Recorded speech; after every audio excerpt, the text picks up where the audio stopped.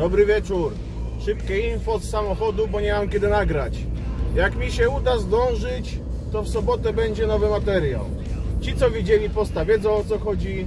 Kto nie wie, wytłumaczę pokrótce. Od tej pory wszystko na Bandcamp będzie za darmo. Powiem więcej, w najbliższym czasie jedyną opcją na Bandcampie będzie pobieranie za darmo. Zamiast tego wdrażam nową formę wspomagania, dla mnie nową, dla wielu z Was doskonale znaną. Patreon, Patreon. whatever. Wejdźcie sobie, przejrzyjcie co tam jest i prosiłbym o ewentualne sugestie, co można zmienić, co dodać, gdyż jest to dla mnie coś zupełnie nowego. Lecz to nie koniec nowości. Oprócz tego przedstawiam Wam sklep z koszulkami, kubkami i innymi pierdołami, których nikt nie kupi. Ale za to jak tanio! Ustawiłem względnie niską prowizję. Właściwie to prawie nic na tym nie zarobię. Ale chciałem, żebyście mieli fajne koszulki. Ja zamówiłem sobie kubek, bo strasznie tłukę kubki. To by było na tyle. Muszę kończyć, bo chyba ściga mnie fandomowa policja za nierobienie X6.